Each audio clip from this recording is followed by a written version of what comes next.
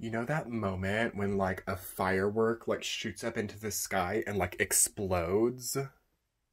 Or like maybe you light a firework and it like explodes before it goes upward. Hi Sages and welcome to your November 2019 General Tarot Forecast. This is Sky here to talk about you as you are a firework this month. You are um, in your last full month of Jupiter in your sign. Um, I hope you're ready for some dazzling display of what that means and what that is about. Um, is it as bright as you expected it to be? Have you come as far as you expected you would be?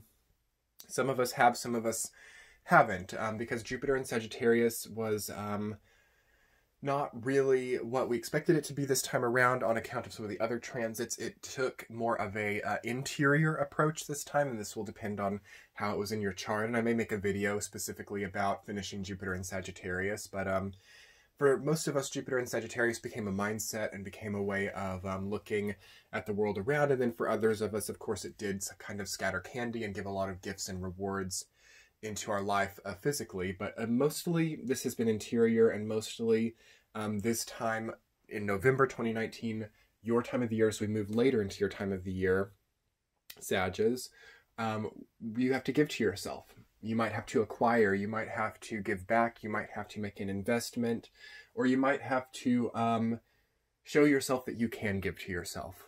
Okay?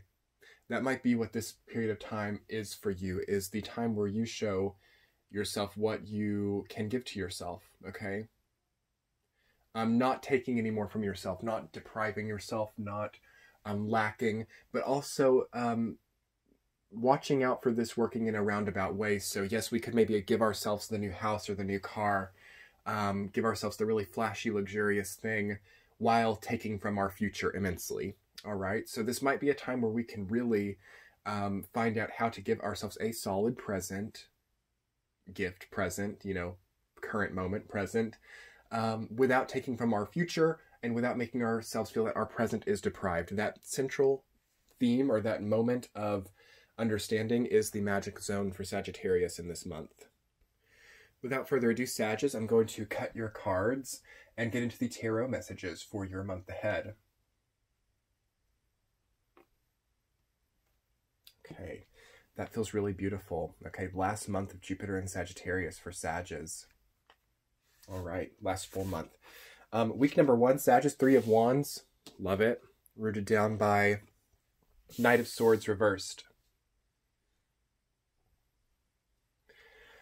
Okay, so Three of Wands has been coming up for other signs this month too. It just came up for Libra um, earlier today. And um, I was talking to Libras about how uh, it can go either way with that card. Um, it can um, be, yes, it can be a new horizon. It can be looking towards uh, the new, turning your back on the old, um, accepting limitations in a way that you have a path carved in front of you that really, really works. Um, I also have a different um, idea of what Three of Swords is in a lot of readers, and that is uh, maybe from the perspective of the camera in the card. So perhaps we are looking to someone whose back is turned on us. Perhaps we are devoting all of our attention to something that will never give back to us. Perhaps we have a bit of a skewed idea of what our new horizon is. Um, however, it is not reversed, it is upright, so it is very easy for you to channel this energy in a way that is a new horizon, in a way that is abundant and giving. So I just really want you to affirm that to yourself. Make sure that you're not looking to anyone's turned back. Make sure you're not investing all that you have into something that is turning its back on you or something that is not um, giving back to you. All right. That's rooted down by Knight of Swords reverse. So this says to me that you do have to exercise. Um, a strategic pace with this um, energy in the first week. So you might get a great new idea. You might have great new intellectual property. Note that down. Write down all of your ideas. What a great time in November for Sagittarius to write down every single good idea that they have so that they don't forget. Because yes, this Jupiter in Sagittarius became much more internal as it squared Neptune in Pisces, as we had Saturn in the most mundane, security-oriented, safe playing sign it goes through. This Jupiter in Sagittarius was never about exploding big or making some kind of huge leap of like glamorous faith into some kind of unknown territory. Um, but it was about seeing what that looked like within. So note all of that down. For those of you who are author authors or creative business owners or um, marketers of some kind, some type. This is such an important time to write down and journal the good ideas that you have because they can make you so much for the next 12 years to come. Um, you know, you're not losing all of this once Jupiter leaves unless you don't make it solid or real. Now, in some way, it doesn't mean that you have to spend every money, every uh, amount of money that you have on your on something ridiculous to make it all work out right now. But you do need to write down those ideas. Um, Knight of Swords is uh, is about the pace that we do things at, and it's reversed. So yeah, we will. If we're moving at a breakneck pace, it's easy to um, have a fall or have a clumsiness. So Jupiter and Sag is a clumsy energy. We don't want to be too impulsive. So watch out for that impulse in the first week. Stillness, stillness within the new strategy, within the new path is important still yet. Week number two, Sages, the chariot reversed, rooted down by Nine of Cups. Okay. Um, I don't mind this. So again, there's an echoing. So Knight of Swords and the Chariot are a similar energy in the sense that there's like that really good direct progress, you know, moving quickly on a linear path. Um, the path is not linear for you guys this month. Okay, this is an important message.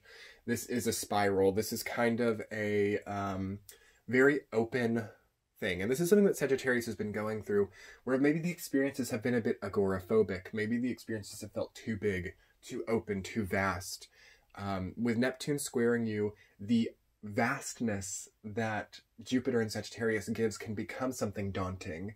So, yeah, you have to kind of move through your life without a super distinct path while really noting the good ideas that come along. Because um, what you start to see in the second week is a path might start to form. There might really start to be, you know, a gateway or a sense of structure within the path um, as you might start to capitalize on um, the oncoming Capricorn energy that arrives. Because to me, Nine of Cups is always a gatekeeper energy. So you see a new option, a new path in front of you, but there's something that's still blocking it maybe. Maybe you need to know the password, maybe you need the key. Um, this is the archetype of Nine of Cups for me, and it does also suggest good luck. It suggests that um, you know you will be uh, more prosperous if you choose this path, but you need to be ready for it. You need to have the key. You need to have the password. Um, so yes, if you were watching this in late October, I would say really start to meditate on um, you know what you need to get into this next uh, chapter of your life. What all is needed, how much money is needed, how much time is needed, how much um, rest is needed for all of this. Try to strategize that and really meditate with what that would look like so that you're prepared because Sagittarius being prepared in the second week and moving forward is a really really empowered a strong strong energy. Okay? So you've got to um, also realize that just moving headfirst headlong into it is not going to be great here. This is strategic mapped out movement. So we are finding the solution to that uh, sort of lost, vast, open scarcity that you were dealing with before. That is solving itself here. And we want to be ready for that. Okay. Week number three, Sages. Ace of Pentacles, rooted down by death. Okay, we get heavy. So this is right at the cusp. You know, this is we're about to move into Sag time, and um, do not underestimate the power of the Sun being in your sign and Jupiter being in your sign. And of course, we'll eventually um, get Mercury and Venus, and uh, those two will eventually come as well. Uh, so this is where you see what this has been about. This is where you see the truth. This is where you see you know, maybe even some candy as well. This could be some benefic blessing, some benevolence coming in for you. Um, but yeah, those things don't come without first having let go of something. So you could suddenly get a lot of money here. You could suddenly um, see that poverty consciousness or an experience of poverty falls away and is replaced by a new path that is much more, um, much more profitable, whether that be time, money, or energy. I think there does have to be an evolution of your money outlook or your your pentacle outlook. So the pentacles are not just money, but they are also time, energy, and anything that we spend in life. You know, you can spend time, you can spend money, you can spend energy.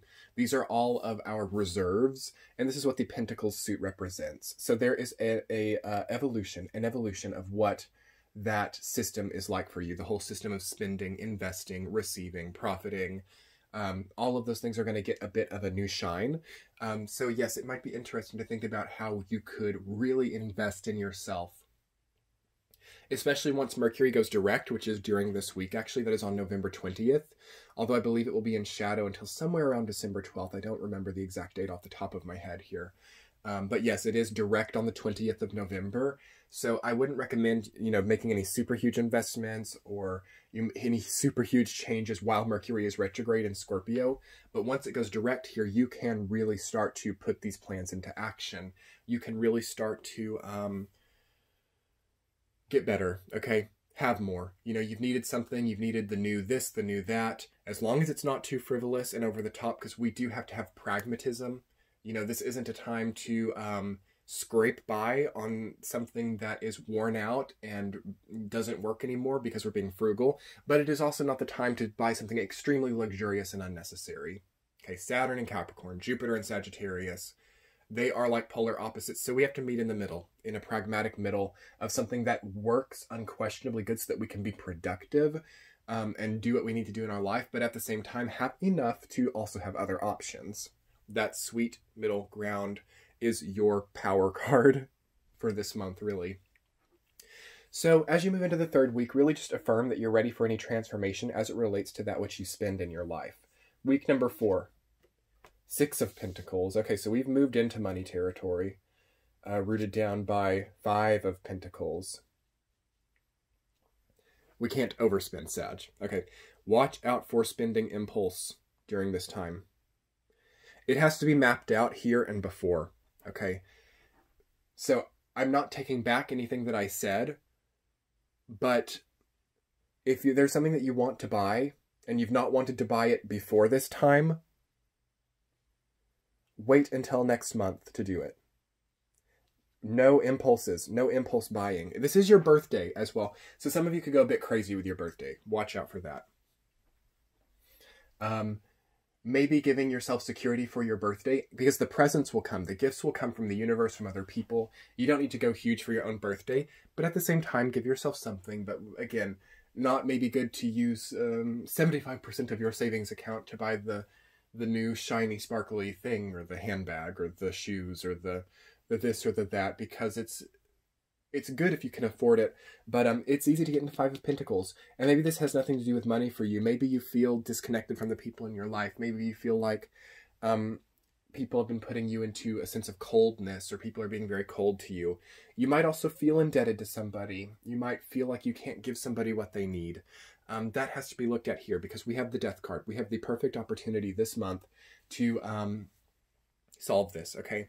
To get past this cycle of indebtedness. Because, Sagittarius, I'm not going to lie to you, um, the next three or four years can be all about this if you waste or squander everything here.